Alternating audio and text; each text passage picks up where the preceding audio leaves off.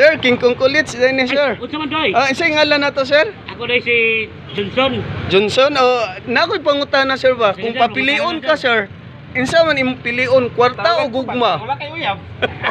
Kwarta ako sir, practical karon. Ah, oh, ah, sakto po si sir kay kwarta. Unsaon man ang gugma sir no kung wa tayo kwarta sir no. Pero mutuo ka sir, ingon pa sila bahalag saging basta labing ko no. Tarungan tuban. Magunsa man ang Unsa ka? mag magunsa man ang labi kasi hindi kang kasaging nabuang.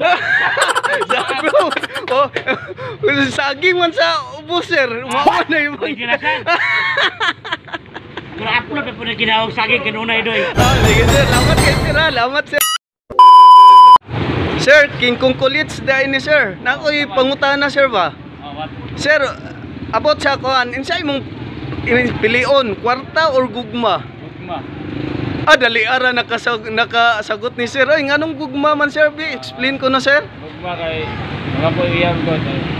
Ora na. Ha? Ang sa insa sir? ako uyab. Na, na Sana.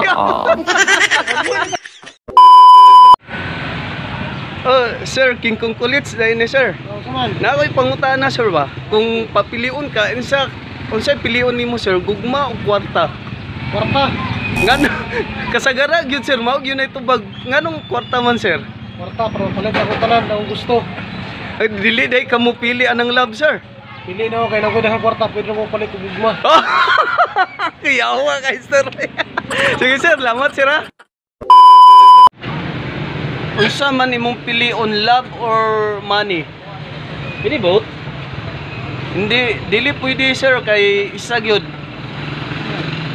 Gugma di ka mabus gugma. Gugma o kwarta. Siguro. Depende sa tao. Kinanglan na adyo kay pilion din explain insay nganong kana imong gipili. Hmm. Gusto may explain oy, di po ka pwede mamili basta usa lang. Isa. Both yun.